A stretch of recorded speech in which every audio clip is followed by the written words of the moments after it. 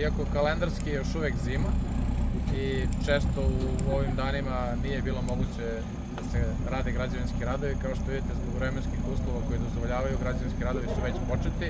Obišli smo početak izgradnje i izgradnja kanalizacije u Velikom selu je već u toku, a ovde su radovi na promeni vodovodne mreže u Velikom Suvodolu, negde oko 1400 metara vodovodne mreže će biti promenjeno i negde oko 800 metara će biti posle toga urađen novi asfalt.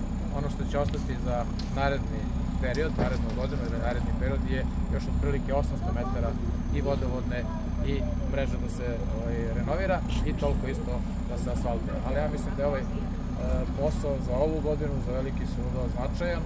Finansijski je negde oko 16 miliona ukupno i asfaltiranje i promena vodovodne mreže. E, ove godine ćemo uložiti preko 200 miliona dinara u asfaltiranje u selima i u gradu i moramo da dođemo, kao što smo više puta rekli, asfaltom do svake kuće, ali ono što mi radimo je da pre nego što asfaltiramo, promenimo vodovodnu mrežu, uradimo kanalizaciju tamo gde, gde je neophodno i gde, gde je potrebno.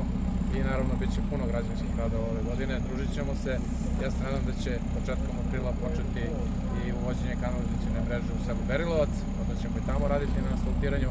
Dakle, svuda gde nedostaje infrastruktura uradit ćemo, ali kao što vidite ovde infrastruktura postoji, ali je stara preko 50 godina i ona jednostavno došla na red da se obnovlja.